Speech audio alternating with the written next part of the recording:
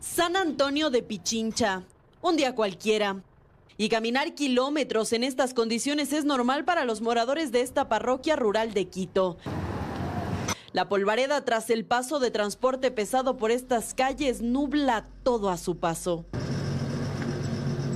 Ropa, objetos, viviendas, todo lleno de polvo. Así lo relatan sus habitantes, quienes denuncian años de promesas incumplidas. Yo vivo aquí como 28 años y en esos 28 años no ha habido ningún arreglo, nada, todo es la polvareda, porque el polvo es bien bárbaro, las volquetas, los carros, todo pasa por aquí desde las 3 de la mañana.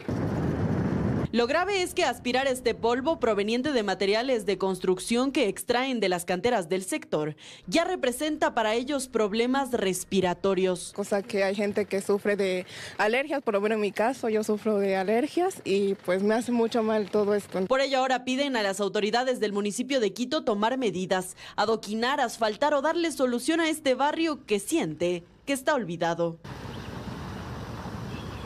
por favor, se, se tienen de ver cómo hacen, adoquinar, lo que sea.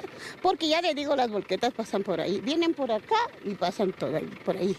Y el polvo es una barbaridad, señorita. Al respecto, tratamos de consultar a la empresa de movilidad y obras públicas sobre los planes de pavimentación en este sector. Sin embargo, hasta el cierre de edición de este reportaje no tuvimos respuesta.